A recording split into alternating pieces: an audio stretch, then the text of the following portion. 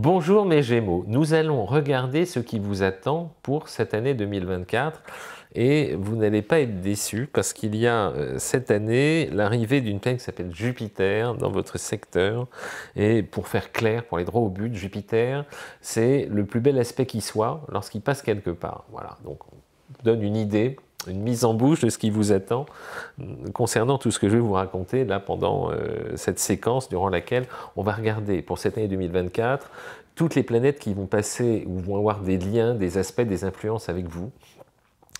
Et euh, elles sont euh, assez intéressantes. Voilà, on va commencer, je commence par les plus lentes, Pluton. Pluton, c'est une planète qui fait son tour en 250 ans. Pluton, cette année, va faire passer d'un signe à un autre signe il va passer d'un signe neutre à un signe qui vous veut du bien, donc c'est plutôt une bonne nouvelle aussi. Et puis après, je regarderai ben, toutes les autres, hein, euh, après Pluton, euh, Neptune, euh, Uranus, Saturne, Jupiter, ah, ah, dont je parlais, Mars durant toute l'année, parce que lui, il avance beaucoup plus vite, il y a des périodes durant lesquelles on a plus d'énergie et d'autres moins, c'est comme ça, il faut les identifier. Vénus, c'est pareil, toute l'année, il y a des périodes durant lesquelles les influences sont plus heureuses en matière de charme, et puis d'autres où on est moins droit, tout simplement. Et enfin, Mercure, qui est votre planète fétiche, l'intelligence la communication. Tout au long de l'année, il navigue, hein. Mercure, il tourne, et au moment où il est heureux, il vous octroie, il vous accorde, il vous euh, fait bénéficier d'une fluidité oratoire tout à fait étonnante, et à d'autres moments, le côté gaffeur, imprudent, dispersé peut prendre le relais, et là c'est beaucoup plus ennuyeux, et c'est ce qu'on va regarder ensemble, j'ai noté, j'ai pris toutes mes petites notes pour vous raconter tout ça. Alors, le gros morceau, quand même, le truc mouse majeur, c'est Pluton. Pluton, planète des remises en question, des transformations, des évolutions parfois radicales, des bouleversements, des changements de fond.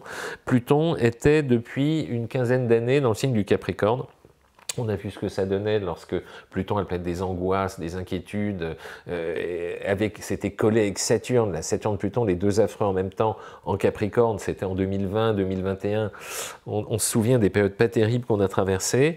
Et Pluton va euh, quitter le Capricorne. Il va le quitter cette fois-ci définitivement. Il va rentrer pendant une quinzaine d'années dans le signe du Verseau, qui est un signe d'air comme le vôtre et les influences qui nous parviennent d'un élément qui est comme le nôtre, mais qui n'est pas le nôtre, sont ce qu'on appelle des trigones, des angles de 120 degrés, qui participent aux plus belles influences possibles. Donc vous allez euh, jusqu'au 20 janvier bénéficier d'une sorte de préambule de l'influence de Pluton qui va encore là commencer à donner une petite séquence de, de, ce que vont être les transformations, les évolutions, les soulagements de ce qui vous attend par la suite. Donc jusqu'au 20 janvier, on est encore dans cette phase d'éclaircissement où certains enjeux se dessinent, des grands courants d'évolution sont en train de ah, d'arriver à maturité, doucement mais sûrement.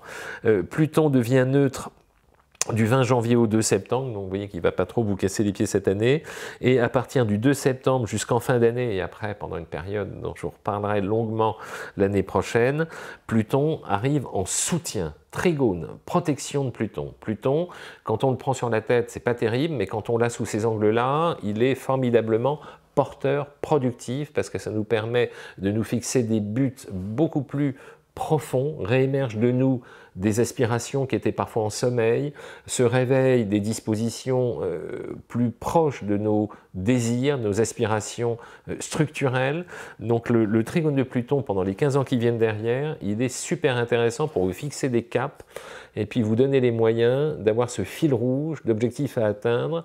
Et ce fil rouge d'objectifs à atteindre, concernant l'objectif justement, normalement il devrait être de plus en plus fin, de plus en plus précis, avec nettement moins de dispersion. C'est ça l'objectif de Pluton.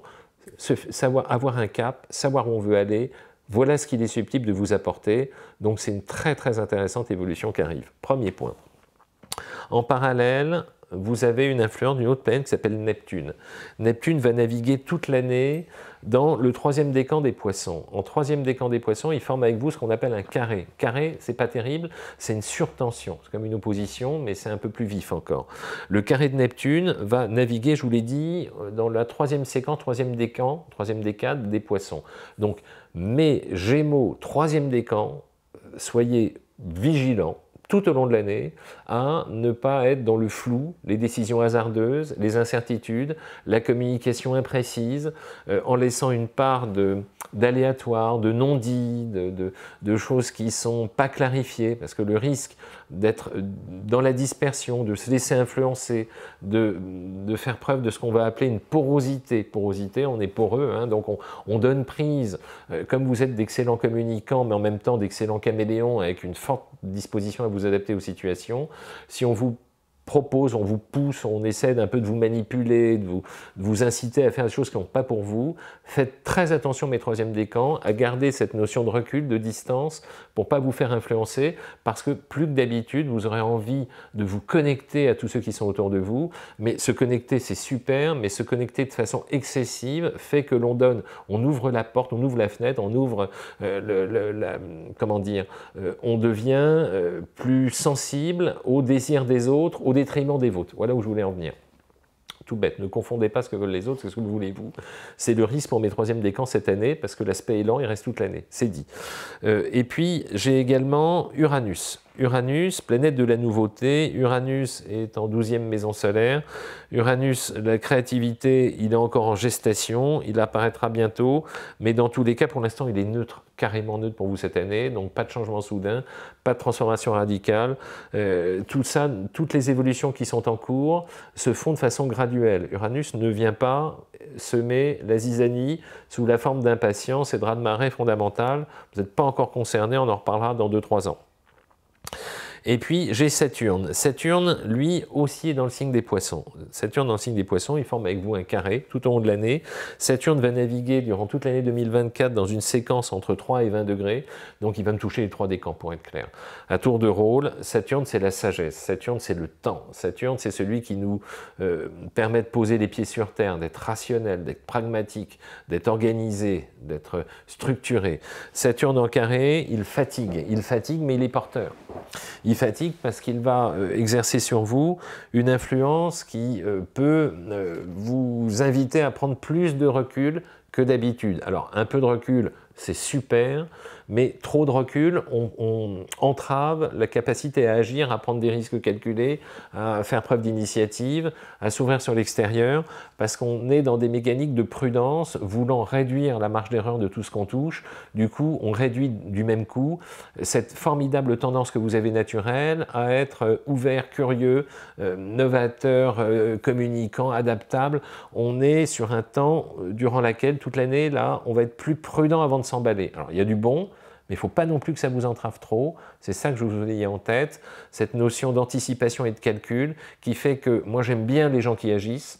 Alors bien évidemment certains agissent trop vite, mais euh, quand on est trop dans la réflexion, on agit beaucoup moins et Saturne va freiner cette tendance à agir euh, et à prendre des initiatives et à être moteur, à être euh, actif. Donc il faut vraiment canaliser Saturne en étant le plus mesuré possible de façon à vous poser des questions, mais point trop d'infos, parce qu'à un moment, ça paralyse. Voilà, c'est ça Saturne. C'est un apport structurant, mais fatigant. Toute l'année. Et puis, maintenant, je vais vous parler de choses complètement réjouissantes. Il y a dans votre ciel une planète qui euh, est exceptionnelle. Exceptionnelle cette année. Elle arrive le, 24, le 25 mai 2024. 25 mai 2024, attention, attention, Jupiter la planète de la chance, de l'optimisme, du positif, du chaleureux, de l'expansion, de, l'ouverture, des opportunités, de la confiance en soi. Et il y a des aspects contradictoires parfois. Ça qui est intéressant. Et là, on est confronté à un véritable aspect contradictoire. Il y a le carré de Saturne qui ralentit et il y a la conjonction de Jupiter. Jupiter, il passe tous les 12 ans. Cet aspect est le plus beau de tout ce qui existe en matière d'influence planétaire. Jupiter, il fait un signe par an. Donc, de mai 2020 là jusqu'à mai 2025, on en reparlera l'année prochaine, Jupiter va être sur votre tête dans votre secteur. Et la visite de Jupiter, vous, vous, le recevez à domicile, vous bénéficiez, mais au max, au max, au max, de toutes les opportunités en matière de chance d'expansion, euh, de capacité à créer, à être ouvert, à, faire les bonnes rencontres, à, à être chaleureuse, à être positif, à être euh, dans des dynamiques euh, on ne peut plus heureuses pour saisir les opportunités, pour créer la chance, pour décanter ce qui devait l'être. Pour, il y aura normalement il y a un avant et un après Jupiter. Donc euh, s'il y avait une marche à grimper, un cap à passer, une situation dont il fallait se soulager, entre Jupiter, qui est, l'élément de chance, de chance, de chance, et Trigone de Pluton qui arrive, qui fixe des caps, vous avez deux gros morceaux qui vous soutiennent de façon exceptionnellement dense, vraiment suffisant pour me gérer la contrariété liée au carré de Saturne. Donc Jupiter, super. Encore une fois, c'est le plus bel aspect qui existe à partir du 25 mai. Préparez-moi cette période liée au second semestre. Préparez-les-moi attentivement parce que des périodes d'expansion comme ça, ça passe pas souvent. Jupiter sur Soleil, je l'adore. J'aimerais bien l'avoir tout le temps celui-là, hein, tellement il est beau. Euh, c'est l'influence de tous les possibles. Tous les possibles. Mais encore une fois, rien ne se fait si on n'agit pas. Je suis très insistant sur ce point-là. Hein, les astres incitent mais ne déterminent pas. Vous connaissez la méthode et le système et ce postulat de raisonnement auquel on est très attaché. Ça, c'est pour Jupiter. On fait une joie pour vous, Jupiter qui arrive. Une petite intermède parce que j'ai réalisé que je vous donnais beaucoup d'informations techniques et en fait l'astrologie c'est assez simple, dès qu'on a les bonnes bases, on comprend vite, on assimile vite. Donc je vous ai préparé une semaine de vidéos gratuites de formation gratuite, ça faut pas louper. En dessous, vous cliquez, il y a un truc à cliquer dessus, vous allez voir, vous allez comprendre les bases et puis ça vous donnera l'occasion de découvrir mon école de formation. Voilà, vous allez comprendre comment je fonctionne. Et puis c'est encore une fois rapide, une semaine, simple. Vous allez apprendre plein de choses qui vous seront super utiles et vous allez voir que les bases arrivent très vite. Allez, fin de l'intermède, on reprend les prévisions. Ensuite, je vais vous parler de Mars. Mars, c'est la planète de l'action, Mars, c'est l'énergie. Mars, lorsqu'il forme des beaux aspects, il est stimulant, lorsqu'il forme des aspects contrariants, il est fatigant, il est excessif, il est impatient. Voilà ce que ça va donner. Mars, jusqu'au 4 janvier, il est en opposition. Jusqu'au 4 janvier, on ne fait pas de boulettes, on ne fait pas de bêtises, on ne force pas les choses. Il va être neutre du 4 janvier au 13 février. En revanche, à partir du 13 février, Mars devient un excellent soutien. Pourquoi? Parce qu'il sera dans un autre signe d'air, donc il forme avec vous un trigone, chose extrêmement stimulant, protecteur. Donc du 13 février au 22 mars, période active, positive. L'énergie est bien canalisée, on a un meilleur rendu de l'effort produit. Tout bête. Hein. on agit, ça paye davantage que quand Mars n'est pas terrible. Ensuite, Mars est neutre du 22 mars au 30 avril. Il redevient positif du 30 avril au 9 juin. Encore une séquence durant laquelle Mars, l'élément moteur, vous protège. Hein. Dans un signe heureux, il forme une influence bienveillante qui vous apporte une très belle énergie. Mars euh, devient problématique pour le coup du 9 juin au 20 juillet. Carré de Mars, énergie. En fait, c'est même pas ça. C'est une période durant laquelle l'énergie ralentit. C'est pas négatif, juste l'énergie est plus de temps avant que les choses se décantent. Voilà. Non plus, c'est pas dramatique du tout. En revanche, Mars devient extrêmement intéressant du 20 juillet au 4 septembre. Pourquoi?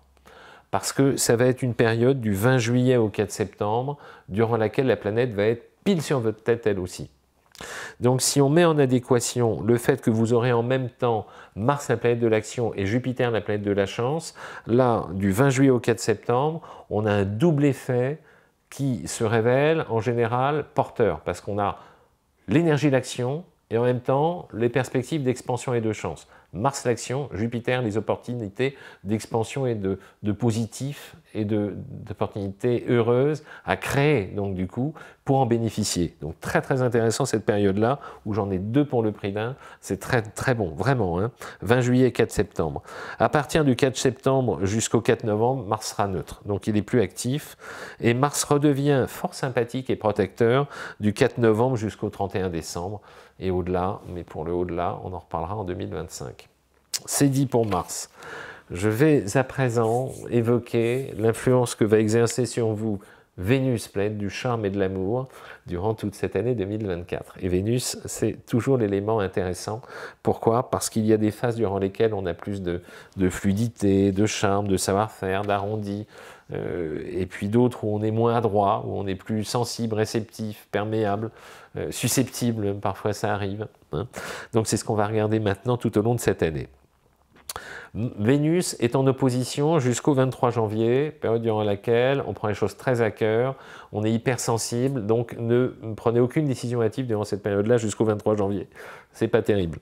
Ensuite, Vénus devient neutre du 23 janvier au 16 février. Neutre neutre, c'est ni bon ni pas bon, on l'a bien compris, aucune influence vénusienne particulière. En revanche, du 16 février au 11 mars, ça, ça m'intéresse. Vénus formera, parce que Vénus passera dans un signe d'air qui vous veut du bien, 120 degrés avec vous, protection de Vénus, on est dans une phase où le charme est particulièrement opérationnel, votre savoir-faire relationnel, votre douceur, votre euh, votre capacité à être adroit, euh, fin, entre le, 16 février et le 11 mars, période plus, plus, plus en matière de charme, et avec les résonances que ça peut engendrer sur le plan affectif et amoureux, vie privée, c'est très bon.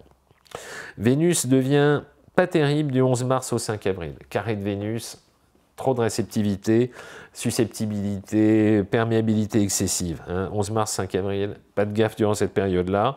Vénus redevient tout à fait délicieuse pour vous, euh, là, euh, du 5 avril au 29 avril. C'est une période courte, hein, elle fait 15 jours. ouais, 23 semaines en fait. Donc, hein, ça fait à peu près ça. 5 au 29 avril. Vénus est belle encore une fois une période de charme. Vénus est, neutre du 29 avril au 23 mai, période neutre. En revanche, alors celle-là, ne me la loupez point. Pourquoi? Vénus va passer en gémeaux, donc pile sur votre tête. Vénus, tac, sur la tête, c'est extra. Période de charme exceptionnelle, la plus belle période de charme pure de l'année, quand Jupiter sera chez vous, et je vous la redonne, celle-là, pour bien la graver sur votre agenda, tout ce qui peut euh, faire avancer les choses sur le plan affectif, 23 mai, 17 juin. Super, vraiment ne me la loupez pas. Ensuite, Vénus devient neutre du 17 juin au 11 juillet. Vénus vous redonne une petite dynamique de charme tout à fait délicieuse au cœur de l'été entre le 11 juillet et le 5 août, vraiment très bon. Vénus devient neutre, même pas terrible, pour le coup, au carré, conflit carré, hein. hyper-réceptivité, sensibilité, attention aux gaffes, du 5 août au 29 août. Vénus repart dans une phase super protectrice en matière de charme à partir de la fin août, donc trigone 120 degrés, Vénus en signe d'air, sur votre Vénus en signe d'air, excellent du 29 août au 23 septembre, Très très bon ça aussi. Ensuite, Vénus est neutre du 23 septembre au 17 octobre. Vénus revient vous apporter une opposition, une tension euh, du 17 octobre au 12 novembre, pas terrible. Euh, et puis euh, ensuite, jusqu'au 7 décembre, Vénus sera dans un signe neutre. Et enfin, du 7 décembre au 31 décembre, Vénus sera dans un angle de 120 degrés, super protecteur aussi. Donc du 7 décembre jusqu'au 31 décembre et certainement un peu au-delà pour 2025, super période sur le plan amoureux, affectif, euh, charme, délicatesse, sensibilité, très très intéressant. Cette période-là pour très bien terminer l'année 2024 et amorcer 2025, surtout que vous avez là une séquence durant laquelle il y a toujours Jupiter le protecteur et Vénus le charme en plus, les deux pour le prix d'un, ça, on ne peut pas rêver mieux. C'est dit.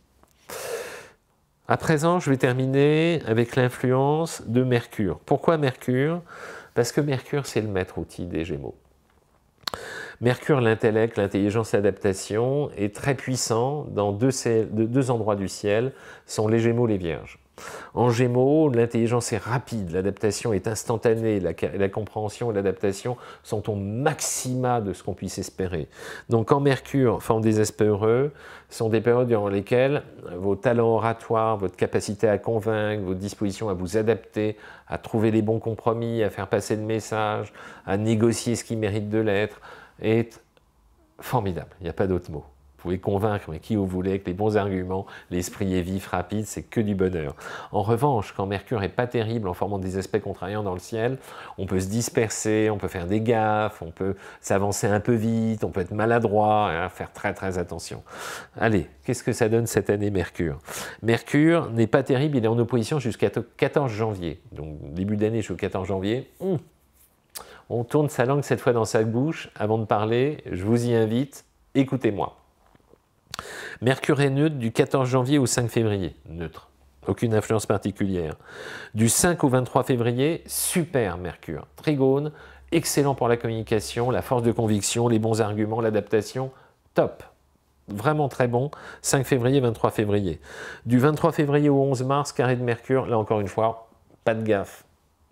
Ne vous laissez pas embobiner, vous adaptez pas trop vite, signez bien, euh, lisez bien deux, trois fois les choses avant de les signer. Euh, période à risque là. Hein. Méfiez-vous de cette période-là, vous emballez pas, communication maîtrisée, pas d'imprudence surtout, pas d'emballement. Hein. clarifiez vraiment ce qui doit l'être dans le détail. Euh, Mercure devient intéressant et protecteur du 11 mars au 15 mai, pendant deux mois. Très bel aspect de Mercure. Il passe en dixième maison solaire en plus, donc au niveau professionnel, ça, peut être de très belles opportunités à saisir. Je vous le redonne, du 11 mars au 15 mai. Deux mois très bons là, hein, en matière de communication. Mercure est neutre du 15 mai au 3 juin. Mercure redevient extrêmement intéressant quand il passera pile, pile sur votre tête. Hein, j'aime beaucoup quand les planètes sont bonnes et qu'elles passent sur notre secteur du ciel. Et il passera en Gémeaux, là, du 3 au 17 juin. Je suis d'accord que c'est très rapide, du 3 au 17 juin, mais cette période-là, elle est exceptionnellement productive en matière de communication, d'adaptation et d'opportunités à saisir. Vraiment exceptionnel. Mercure qui passe sur sa tête, c'est bon, très bon. Mercure euh, devient euh, neutre du 17 euh, juin au 2 juillet neutre, devient de nouveau très intéressant euh, du 2 juillet au 25 juillet, sextile de Mercure, très bon pour la com, l'adaptation, pas terrible du 25 juillet au 15 août, pas terrible, redevient intéressant du 15 août au 9 septembre, très bon pour le coup, hein, c'est vraiment on-off là, redevient pas terrible du 9, au, du 9 septembre au 26 septembre, et à partir du 26 septembre jusqu'au 13 octobre, très bel aspect trigone de Mercure encore une fois, tout ce qui est échange, communication, adaptation, encore une fois, on a une période particulièrement heureuse à saisir. Ensuite, du 13 octobre au 2 novembre, Mercure devient neutre. Et du 2 novembre jusqu'au 31 décembre, Mercure sera en opposition. Euh, attention à tout ce qui se passe là en matière de communication, de signature, d'opportunités, d'engagement rapide euh, durant cette fin d'année 2024. Mais encore une fois, vous avez vu, c'est rapide, c'est très passager. Juste être un peu vigilant à ne pas s'emballer durant cette phase-là. Voilà, c'était les influences cumulées de toutes ces planètes durant cette année. Euh, pour résumer, donc je voudrais vraiment insister sur ce plan-là, c'est vous avez le bol, la chance d'avoir cette année un truc vraiment exceptionnel qui est le passage hein, en conjonction, en direct, de la planète la plus heureuse de toutes. Cette planète, c'est Jupiter. Jupiter, ce sont, hein, vous l'avez compris, fait son tour en 12 ans. Donc quand on a Jupiter au-dessus de sa tête, c'est les périodes durant lesquelles tout est possible. Tout est possible en matière de positif, de chance, de, constructif, d'opportunité, de contact, de rencontre, d'expansion, de partenariat. Euh, on ne fait pas mieux. C'est ça, je suis très insistant sur ce point-là, mais ça se prépare, ça se canalise, ça s'organise euh, de façon à, mettre toutes les chances de son côté. Et pas... On peut vivre cette période de Jupiter comme une année, tout est facile. Ça, c'est un peu les situations de facilité, très belle année, mais on peut aussi en profiter pour construire sur des bases solides et euh, mettre les bonnes pierres aux bons endroits pour construire la bonne stratégie, la bonne dynamique et le, bon, euh, la bonne angularité pour que ce que l'on va mettre en place durant cette phase particulièrement heureuse et une sorte de pérennité et que ça s'inscrive dans la durée. Hein, parce qu'une fois que l'aspect est passé, il n'y a plus rien. Donc si on s'appuie là-dessus pour prendre de l'expansion, pour changer de cap, pour se donner les moyens d'avancer, on ne peut pas rêver mieux parce qu'après on est porté. C'est comme les grands oiseaux, ils s'élèvent dans le ciel et puis après ils se laissent planer. Hein. ils peuvent bénéficier de l'influence du vent pendant une beaucoup plus longue période que euh, ceux qui font des petits vols par à coup puis tombent vite sur terre. Hein. Donc là, c'est très très très intéressant ce qui arrive cette année. Et puis, et puis on en reparlera pour 2025 parce que c'est pas fini. Et puis enfin vous avez euh, Pluton Pluton qui a cassé les pieds ah, depuis euh, une éternité à tous ceux qui étaient avec des planètes en Capricorne, en Cancer, en Balance, en Bélier. Vous, il vous touchait pas, mais là, il devient euh, enfin un angle hyper constructif et intéressant qui va durer une quinzaine d'années. Donc euh, ce qu'on met en place cette année m'intéresse à plus d'un titre, parce qu'on est vraiment dans une phase charnière de votre existence, et tous les enjeux qui sont canalisés autour de ce que vous voulez consciemment réaliser, peuvent ah, vraiment s'inscrire dans du concret et dans l'amorce d'une très belle phase. Voilà, c'était l'idée. Bon, vous avez bien compris l'idée, c'est qu'un orchestre, hein. c'est une harmonie à trouver entre les différents éléments. Hein. on sait euh, l'influence, et, toutes les planètes, tout ce que je viens de vous donner comme indice concernant les influences planétaires qui vont passer sur le secteur Gémeaux, peuvent concerner plein de choses. Si vous avez l'ascendant Gémeaux, tout ce que je viens de situer va s'orienter sur l'image que vous projetez de vous et les liens que vous créez avec les autres sur le plan relationnel et social extérieur. Si c'est le soleil, si vous êtes gémeaux, c'est vos objectifs propres. Si c'est votre lune, c'est votre vie privée et votre fonctionnement au quotidien. Si c'est votre mercure, ça va concerner toute l'année les liens sur votre manière de communiquer. Sur, si c'est Vénus que vous avez en gémeaux, vos amours.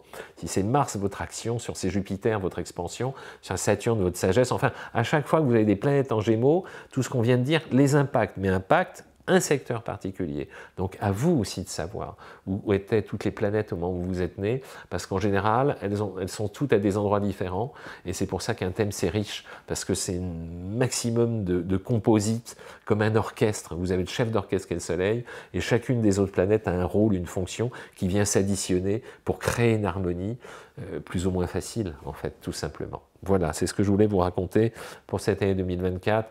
Merci pour la gentillesse de vos messages, de vos gentils commentaires, de vos abonnements, de vos partages. Et puis, je vous prépare plein de trucs comme d'habitude encore cette année. À bientôt. Je vous ai préparé cette vidéo gratuite. Il suffit de me laisser vos coordonnées, d'appuyer, de cliquer. Vraiment, ça vaut le coup parce que j'ai trop de plaisir à donner des informations techniques. Ça va vous permettre d'avancer beaucoup plus vite, de comprendre ce qui se joue. Et dès qu'elles sont prêtes, je vous les fais parvenir. C'est très simple pour l'avoir. Cliquez là.